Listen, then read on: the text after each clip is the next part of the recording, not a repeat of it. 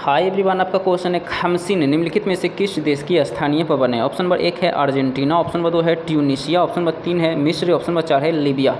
तो हमारे इस क्वेश्चन का option number third correct answer हो जाएगा मिस्र देश की। So thank you